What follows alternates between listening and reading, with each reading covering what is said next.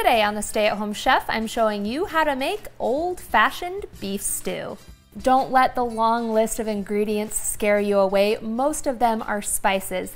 Beef stew is actually super simple to make, and boy, is it delicious. The first thing you'll want to do is prepare all of your vegetables because there's a little bit of cutting and peeling to do. You'll need four stalks of sliced celery, four sliced carrots, and about one and a half pounds of sliced red potatoes, and you want to cut those into bite-sized pieces. Then you'll need two pounds of beef stew meat, which is basically just diced chuck roast. Sprinkle on two tablespoons of cornstarch and season with one teaspoon of salt and a quarter teaspoon of black pepper. Then we'll give this a toss until the meat is fairly evenly coated with the cornstarch. All right, now before we head on over to the stove, I wanna show you one last thing, which is pearl onions. These are a small, mild onion that's already peeled that you can find in the freezer section of your grocery store. I love having a bite of onion in beef stew. If you don't though, you could also just use a regular white diced onion. But let me tell you, these pearl onions are totally delicious.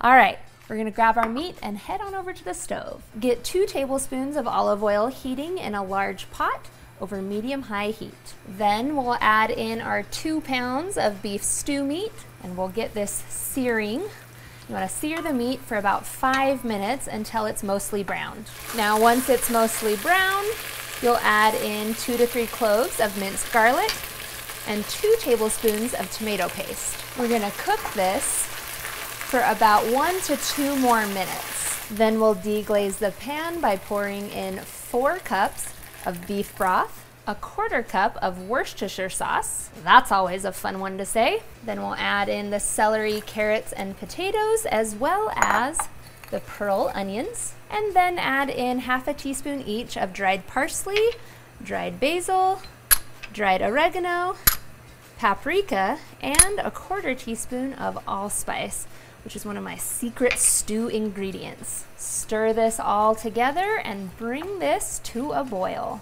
Now once it comes to a boil, reduce the heat to low, pop a lid on, and we're gonna let this simmer for 90 minutes. Now just before your stew is done, we're gonna make a little cornstarch slurry to thicken it up. So you'll need a quarter cup of cold water, and you'll mix that together with two tablespoons of cornstarch.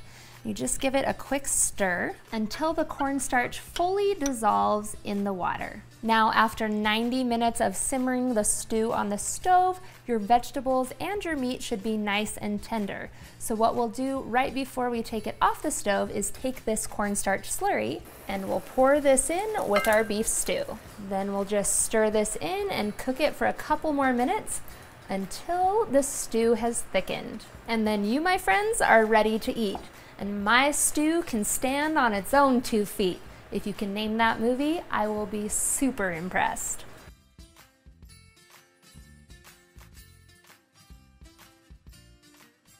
Thanks for watching. You can find the full written recipe in the video description. Be sure to subscribe, like, and follow, and check out the rest of my videos where you can find hundreds of restaurant quality recipes you can easily make at home. See you later.